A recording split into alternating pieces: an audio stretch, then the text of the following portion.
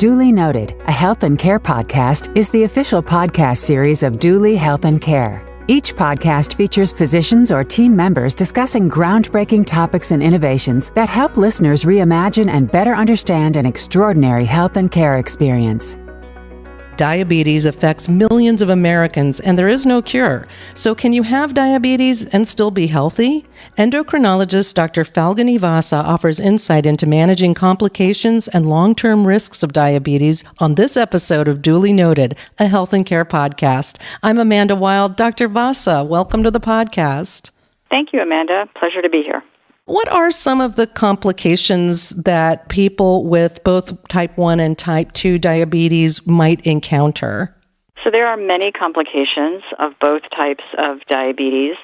I think the common ones that we hear about the most involve the eye, the kidney, and the nerves.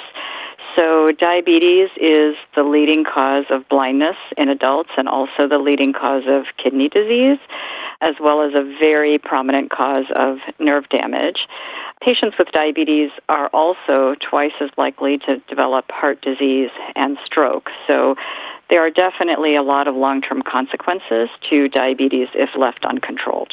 So, there are some serious effects people may face. If you're diagnosed with diabetes, what actions can we take to prevent these kind of complications?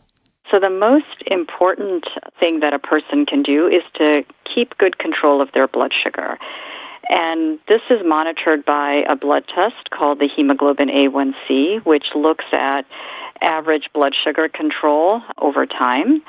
And it's very important that this level be kept within target to minimize the risk of developing all of the complications we talked about. And the target A1C can be different for people depending on what other conditions they may have and what other risk factors they may have. So it's important to personalize that target, but to remain within that target to make sure that we're preventing these complications.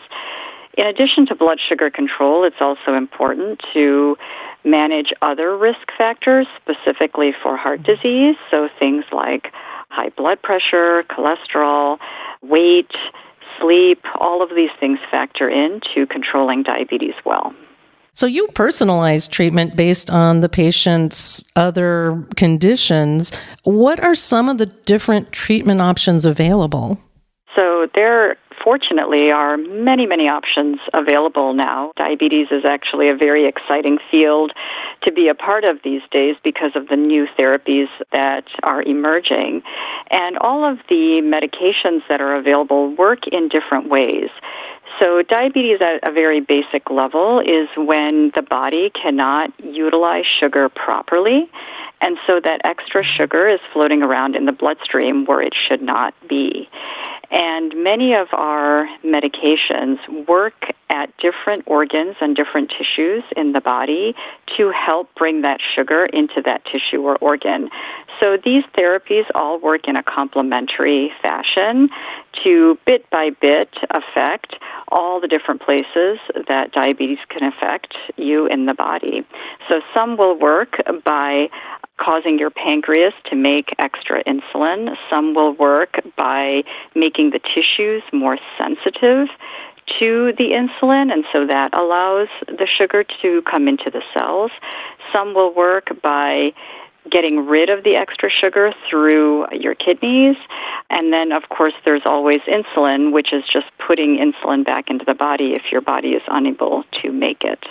So, insulin is an old standard, and then there are many other advanced treatment options and therapies. Are there also emerging treatments for diabetes?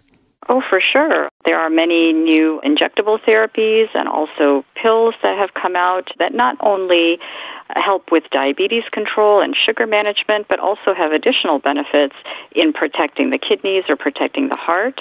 And so these are some very exciting new therapies that we have available to us. And these therapies can all be used either by themselves or sometimes in combination. And many times, combination therapy is required to keep the blood sugar under control. Now, you talked a little about what can happen if diabetes is left untreated, but what role does preventive care play in diabetes prevention and detection? That's a great question because type 2 diabetes, which is the diabetes that affects the majority of the population, is largely preventable. By keeping your weight at a healthy weight and modifying your diet, you can essentially at least delay or even prevent the onset of diabetes.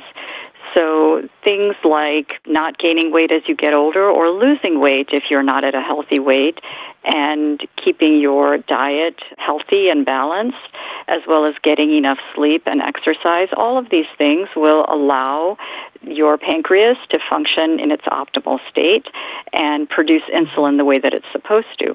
And eventually, and it's been shown, this can at least delay or even prevent the onset of diabetes. That is significant. If someone does find themselves in a situation where they are facing long term complications of diabetes, what can they do? Who should they reach out to for support? Your first point of contact really should be your primary care physician, as they know you best.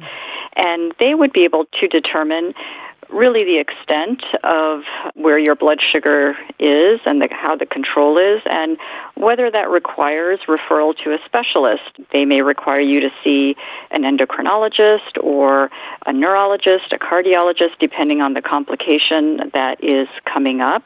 They may also be able to maybe adjust your treatment plan to get things under better control.